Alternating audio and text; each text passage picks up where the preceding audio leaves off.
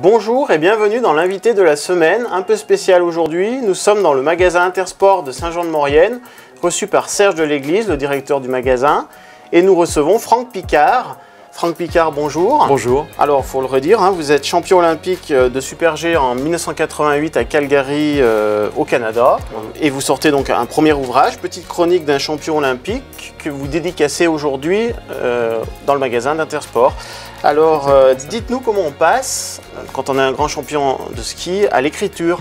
Comment ça vient C'est un scénario euh, qui était vraiment improbable au départ puisque je ne me, me voyais pas écrire et puis finalement c'est grâce au ski de fond que je suis venu à l'écriture puisque en faisant euh, des épreuves de longue distance comme le marathon de Bessan ou, euh, d'autres courses, euh, j'ai eu envie de raconter ça parce que c'est vraiment des moments intenses et, riches et donc j'ai commencé à écrire ces histoires-là sur Facebook.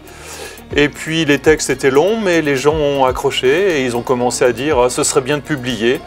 Ça a duré 3-4 ans et puis ce printemps j'ai dit allez euh, je, je franchis le cap et je, me- je me décide à écrire. Donc j'ai rajouté bien sûr euh, les textes forts que j'avais écrits déjà sur Facebook et puis toute mon histoire olympique et, et pas mal de choses. Et pas mal de choses, parce que je crois que le livre débute par votre jeunesse, Oui. ça faut le redire. Donc, euh, vous êtes né au Césy, hein, vous êtes un natif de, de- de ce village. J'arrive du Beaufortin, Voilà. je suis pas mauriennais, je m'en excuse mais j'aurais bien aimé.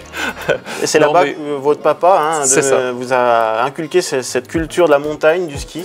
Alors c'est là-bas que, dont on est originaire. Euh, Mes parents sont, sont de la vallée d'Autelus et euh, mon papa était un des pionniers de la station des saisies. Euh, et puis là-bas, bah, il a été fondateur de l'école de ski, il a été un moniteur et il a été un papa entraîneur pour moi.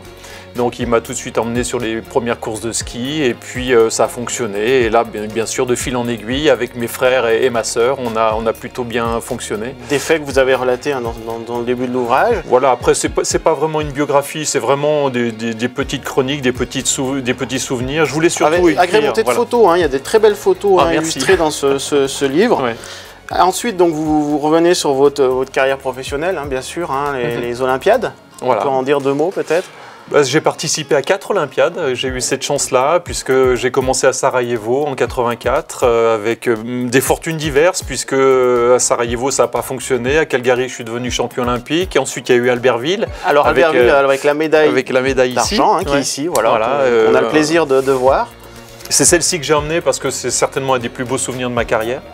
Et puis ensuite, euh, j'ai eu encore la chance de faire des Jeux Olympiques en 94, puisqu'on a décalé les Jeux d'été et les Jeux d'hiver. C'était à Lillehammer. Et là, bah, le- la, la réussite n'était pas au rendez-vous, donc ça s'est terminé là-dessus. Et puis après, bah, je raconte toutes mes histoires de ski de fond parce que. Oui, alors justement, vous ouais. êtes passé du, du ski alpin au ski de fond, et là, il y a eu une vraie transition dans votre vie aussi. hein, c'est un changement de vie. Euh, je ne me voyais plus euh, skier euh, nuit et jour et à un très très haut niveau. Donc je suis passé vraiment euh, dans, dans une nouvelle phase, simplement faire du sport pour le plaisir. Ça a été le cas avec le ski de fond et, et surtout participer euh, aux grandes distances avec un rassemblement populaire.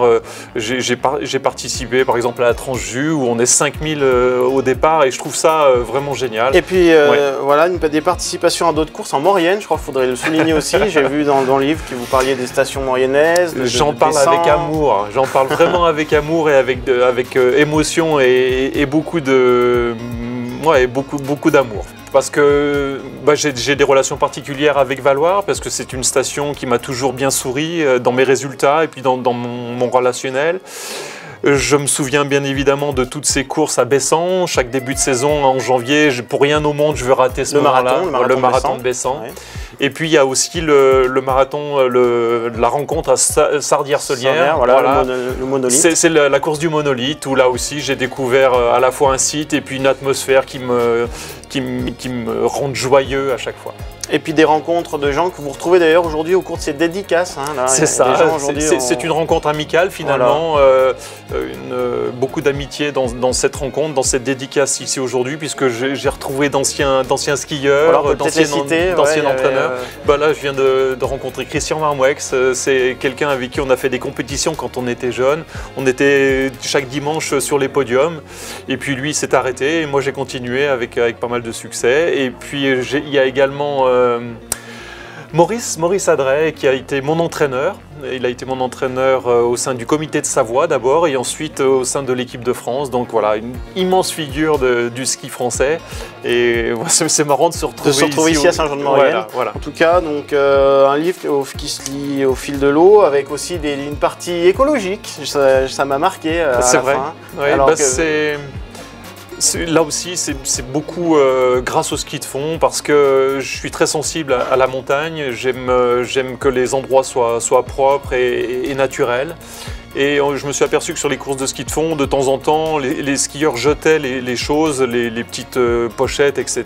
Et donc, euh, on essaye de sensibiliser tout le monde justement pour qu'aujourd'hui, plus personne ne jette les choses et, les garde euh, dans, ses, dans, ses, poches, dans ses vêtements. C'est le cas également en vélo. Je trouve, je trouve ça inadmissible que, les champions jettent les, choses au bord de la route. Ça, devient des réflexes d'un autre temps. Et j'aimerais bien que ça, ça change. Et puis, puis l'amour de, de la montagne parce que je l'ai vu évoluer.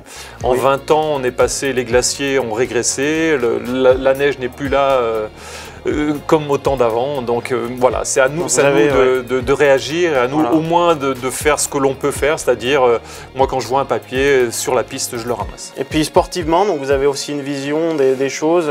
vous avez vu l'évolution du ski et ah, L'évolution du ski est, quelque chose de, très difficile à vivre parce que c'est un sport extrême, c'est un sport qui est difficile, où il y a beaucoup de blessures. Et, ces blessures, avant, on les, avait quand on avait 18-20 ans. On se faisait un ligament croisé euh, au bout d'une carrière ou en tout cas au milieu de sa carrière. Jamais quand on était gamin. Et là, aujourd'hui, euh, il y a des enfants dans les clubs des sports qui, se blessent, qui, se blessent gravement au genou ou à, d'autres endroits. Et, pour qui le ski ne, sera plus jamais un, sport où, ils auront accès. Et ça, c'est vraiment dommage. Donc il faut, il faut que chacun se mette dans, un état d'esprit différent rapport à ça, euh, moins pousser les gamins et peut-être euh, voilà, relancer les choses pour qu'on protège nos enfants. Du... Le, ski doit être un ski de plaisir et pas euh, une machine à broyer. Quoi. Et puis donc professionnellement, aujourd'hui, vous continuez de travailler dans un magasin qui vous appartient eh saisie, c'est ça? On peut peut-être dire deux mots? Ah ben Bien sûr, j'ai pris la suite de mes parents puisque ma carrière de skieur athlète s'est terminée en 96 et ensuite mes parents souhaitaient partir à la retraite donc j'ai pris les rênes d'une entreprise. J'ai aujourd'hui six magasins de sport au saisie avec euh, près de 50 personnes à gérer en plein hiver. Donc euh, voilà, la saison se termine. Toujours de bons conseils auprès de.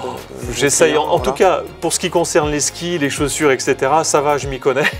Euh, pour ce qui concerne le management, c'est quelque chose que j'ai appris, bien sûr, avec euh, à la fois mon expérience de skieur et puis ma façon d'aborder la, compétition m'a beaucoup aidé pour faire ça. Et puis donc pour continuer, donc vous avez des projets, je crois, hein, donc à continuer le ski de fond. J'ai pas mal de projets et certainement de toute façon faire du ski de fond et continuer de, m'entretenir parce que c'est un équilibre vraiment aujourd'hui de faire du sport pour moi, euh, notamment par la longue distance. Et puis euh, bah, les projets, euh, ils viendront au fur et à mesure certainement, avec l'espoir peut-être d'écrire encore un petit peu parce que j'y ai vraiment pris beaucoup de plaisir. du plaisir. Ouais, exactement. Et puis partager pour des moments comme ça, ça vaut le coup. bah écoutez, Franck Picard, on vous remercie. On vous souhaite une bonne continuation dans, vos projets et puis à très bientôt. Et merci, à très bientôt en Maurienne alors. Quant à nous, nous nous retrouverons dans une prochaine émission. Merci de votre fidélité et à bientôt.